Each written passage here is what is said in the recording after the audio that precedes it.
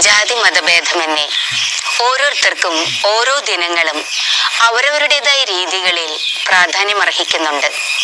ചില ദിനങ്ങളെല്ലാം നാം വളരെ ആഘോഷമായി ആചരിക്കാറുമുണ്ട്. ഇങ്ങനെ ആചരിക്കുന്ന ദിനങ്ങൾക്ക് പിന്നിൽ മഹത്തായ ചരിത്രമോ പൈതൃകമോ പാരമ്പര്യമോ ഉണ്ടായിരിക്കും. ജൂലൈ പതിനാറ് എന്താണ് ഈ ദിനത്തിന്റെ പ്രത്യേകത? പരിശുദ്ധ കർമ്മല മാതാവിന്റെ തിരുനാൾ ദിനം. ഈ ദിനത്തിന് പിന്നിലും മഹത്തായ ഒരു ചരിത്രമുണ്ട്. ഈ ചരിത്രത്തിലേക്ക് നമുക്കൊന്ന് കണ്ണോടിക്കാം. സമൂഹത്തിൽ തിന്മ വർദ്ധിക്കുമ്പോൾ ദൈവജനം ദൈവത്തിൽ നിന്ന് അകലുമ്പോൾ ദൈവം തിന്മയ്ക്കെതിരെ സംസാരിക്കാൻ പ്രവർത്തിക്കാൻ പ്രാർത്ഥിക്കാൻ കാലകാലങ്ങളിൽ ദൈവം ഓരോ വ്യക്തികളെ നിയോഗിക്കാറുണ്ട്. അവരാണ് പ്രവാചകർ. ഇത്തരുണത്തിൽ ദൈവം നിയോഗിച്ച ഒരു മഹത് വ്യക്തിയാണ് ഏലിയ പ്രവാചകൻ. വാക്കിലും പ്രവൃത്തിയിലും ശക്തനായിരുന്ന ഏലിയ പ്രവാചകൻ താമസിച്ചിരുന്നത് കാർമൽ മലയിലാണ്. പാലസ്തീനയിലെ പ്രശസ്തിയേർന്ന പേരുകേട്ട പ്രകൃതി രമണീയമായ ഒരു മലയാണ് കാർമൽ മല. വിശുദ്ധ ഗ്രന്ഥത്തിൽ പഴയ നിയമത്തിൽ രാജാക്കന്മാരുടെ ഒന്നാം പുസ്തകം പതിനെട്ട് പത്തൊൻപത് അധ്യായങ്ങളിലാണ് ഈ കാർമൽ മലയെക്കുറിച്ച് പ്രതിപാദിച്ചിരിക്കുന്നത്. ഇസ്രായേൽ ജനം മഴ ലഭിക്കാതെ വരൾച്ചയിൽ കഷ്ടപ്പെടുമ്പോൾ കാർമൽ മലയിൽ ഏലിയ പ്രവാചകൻ തീക്ഷ്ണമായി പ്രാർത്ഥിച്ചു. അപ്പോഴതാ സമുദ്രത്തിൽ നിന്ന് ഒരു മനുഷ്യകരത്തോളം വലുപ്പമുള്ള ചെറുമേഘം ഉയർന്നു വന്നു. ഞൊടിയിടയിൽ ആകാശം മേഘാവൃതമായി മേഘം കറുത്തിരുണ്ടു. കാറ്റുവീശി വൻമഴ പെയ്തു എന്നാണ് ചരിത്രം പറയുന്നത്. ഏലിയ കണ്ട ആ കാർമേഘത്തിൽ പരിശുദ്ധ അമ്മയായിരുന്നു എന്നാണ് പാരമ്പര്യം പ്രഘോഷിക്കുന്നത്.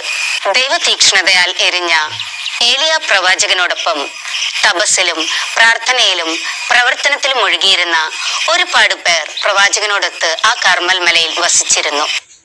ഈ പാരമ്പര്യത്തിൽ ഈ ചൈതന്യത്തിൽ രൂപം കൊണ്ടതാണ് കർമ്മലീത്ത സഭ. പിന്നീട് വിശുദ്ധ ബർത്തോൾഡിന്റെ കാലത്ത് ജനങ്ങളുടെ മറിയ വണക്കത്തിനായി അവിടെ കാർമൽ മലയിൽ ഒരു പ്രാർത്ഥനാലയം പണിതീർത്തു.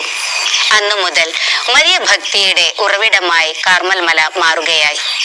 വർഷങ്ങൾ പിന്നിട്ടപ്പോൾ സഭയ്ക്കുള്ളിൽ നിന്നും സഭയ്ക്ക് പുറത്തു നിന്നും ബാഹ്യലോകത്തിൽ നിന്നും പ്രശ്നങ്ങളും പ്രതിസന്ധികളും ഉണ്ടായപ്പോൾ ആയിരത്തി ഇരുന്നൂറ്റി അമ്പത്തി ഒന്നിൽ കർമ്മലീത്ത സഭയുടെ സുപ്പീരിയർ ജനറൽ ആയിരുന്ന ഫാദർ സൈമൺ സ്റ്റോക്ക് മാതാവിന്റെ മാധ്യസ്ഥം തേടി ശക്തമായി പ്രാർത്ഥിച്ചു. യഥാർത്ഥത്തിൽ അദ്ദേഹം ഒരു മരിയ ഭക്തനായിരുന്നു. ജൂലൈ പതിനാറ് പരിശുദ്ധ കർമ്മല മാതാവ് ഉണ്ണിയേശുവിനെ കരങ്ങളിൽ വഹിച്ചുകൊണ്ട് വിശുദ്ധ സൈമൺ സ്റ്റോക്കിന് പ്രത്യക്ഷപ്പെട്ടു. കയ്യിലുണ്ടായിരുന്ന ഉത്തരീയം നൽകിക്കൊണ്ട് വിശുദ്ധനോട് പറഞ്ഞു ഇത് ആപത്തിൽ അഭയമാണ്. ഇത് ധരിക്കുന്നവർ ഒരിക്കലും നിത്യനരകാഗ്നിയിൽ പ്രവേശിക്കുകയില്ല എന്ന്. ഇതാണ് മരിയ ഭക്തർക്ക് മാതാവ് സമ്മാനിച്ച സമ്മാനം സംരക്ഷണം. കർമ്മലനാഥ എന്ന പ്രയോഗം പതിനാറാം നൂറ്റാണ്ടോട് കൂടിയാണ് പ്രയോഗത്തിൽ വരുന്നത്. മിഷണറിമാരായ കർമ്മലീത്ത സന്യാസിമാർ വഴിയാണ് നമ്മുടെ നാട്ടിൽ പരിശുദ്ധ കർമ്മല മാതാവിനോടും ഉത്തിരിയത്തോടുമുള്ള ഭക്തി പ്രചരിപ്പിച്ചത്. പിന്നീട് സീറോ മലബാർ സഭയിൽ ഈ കർമ്മല ചൈതന്യത്തിൽ രൂപം കൊണ്ട സമൂഹങ്ങളാണ് C M I C M C സമൂഹങ്ങൾ. ഇവരാണ് കേരളത്തിൽ പിന്നീട് പരിശുദ്ധ കർമ്മല മാതാവിനോടും ഉത്തരീയ ഭക്തിയും പ്രചരിപ്പിക്കുന്നതിൽ നിർണായകമായ പങ്ക് വഹിച്ചിട്ടുള്ളത്. ഓരോ തിരുനാളും തീക്ഷ്ണതയാൽ എരിയേണ്ട ദിനങ്ങളാണല്ലോ.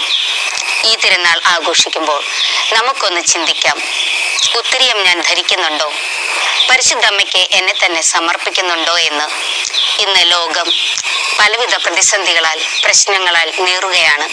പ്രത്യേകിച്ച് കൊറോണ വൈറസിന്റെ പിടിയിൽ അമരുന്ന ഈ ലോകത്തിലെ സകല ജനപദത്തിനും വേണ്ടി പരിശുദ്ധ അമ്മയുടെ മാധ്യസ്ഥം വഹിച്ച് ഏഴ് പതിനാലിൽ പറയുന്നത് പോലെ നമുക്ക് പ്രാർത്ഥിക്കാം. കാർമലയിലെ വനാന്തരത്തിൽ ഏകരായി വസിക്കുന്നവരും അങ്ങയുടെ അവകാശവുമായ അജഗണത്തെ അങ്ങയുടെ ദണ്ടുകൊണ്ട് മേയ്ക്കണമേ. ഏലിയ കണ്ട ആ ചെറുമേഘം നമ്മുടെ ജീവിത വഴിത്താരയിലും കൃപയുടെ സൗഖ്യത്തിന്റെ സന്തോഷത്തിന്റെ സമാധാനത്തിന്റെ പെരുമഴയായി പെയ്തു